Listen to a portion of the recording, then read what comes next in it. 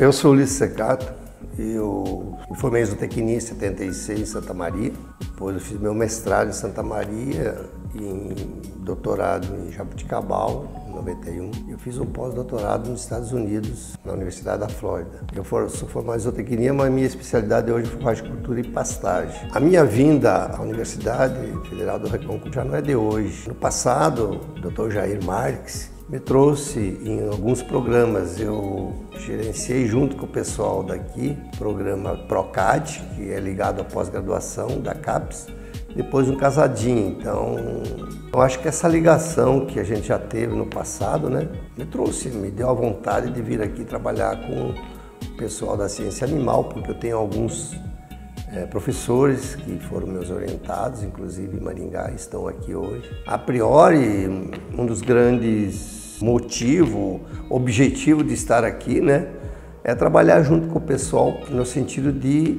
é, buscar melhorias no programa de pós-graduação. Tem de, disciplinas na área de cultura e pastagem que a gente pretende implementar. Vai colaborar em outras disciplinas, se for necessário vai trabalhar junto com o, pro, com o coordenador do curso de pós-graduação e vice-coordenador para buscar realmente o que eles precisam aqui, o que eles acham que tem necessidade. Eu estou trazendo aqui uma inovação né, de um projeto que nós estamos trabalhando já há cinco anos, inclusive rendendo já tese de doutorado, tese de mestrado, programas que nós temos junto com a Embrapa Soja, que é o uso de bactérias promotoras do crescimento em vegetais. Quer dizer, você tentar sair um pouco dos produtos químicos na área de produção de pastagem a campo e buscar um produto que é biológico. E hoje se fala tanto isso, a busca da sustentabilidade. Então é um projeto que eu acho super interessante aqui para a universidade e para o pessoal da área. A gente sempre primou por trabalhar com produtores. Então nosso trabalho foi sempre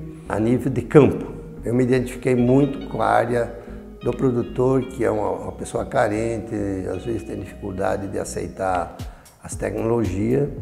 Desde 96 eu comecei um trabalho de campo, aí fui trabalhei em três, quatro propriedades diferentes, porque eu sou filho de produtor lá no Rio Grande do Sul. Meus irmãos trabalham ainda na, a gente chama na região de colônias lá, né? A gente tem várias coisas assim que a gente realizou dentro do, da nossa, do nosso trabalho, da nossa vida profissional. Fiz agora 41 anos de, de UEM, aposentei em dezembro, mas hoje eu sou professor voluntário. Né? Embora eu já tenha, seja maduro em termos de idade, eu me acho ainda novo em termos de pessoa física, eu me acho novo. Então lá eu estou como professor voluntário, fui convidado e permaneci lá por mais três anos lá, mesmo porque eu sou pesquisador do CNPq, então dizer, a gente vai pelo menos mais três anos, estar lá na universidade junto com pós-graduação. De lá vindo para cá, quer dizer, a gente vai, obviamente, isso é muito importante, esse intercâmbio, porque queira ou não queira, eu estou fazendo um trabalho daqui com lá. Então é bom pro programa de lá e bom daqui, porque pode haver esse intercâmbio entre orientadores, entre professor, pode até pegar alunos daqui manda lá que é, a gente tem uma boa estrutura, está bem estruturado. Então, eu acho que isso é uma coisa super interessante, tanto para a gente lá, porque é, existe esse aspecto que a CAPES encaminhou para a avaliação dos cursos de solidariedade, ou seja, dizer, o nosso curso ajudando aqui e esse aqui ajudando lá. Eu acho que é uma satisfação muito grande estar aqui. Para nós que estamos aí tentando realmente trabalhar em prol da zootecnia. Depois de me, me aposentar, eu sempre falei, né?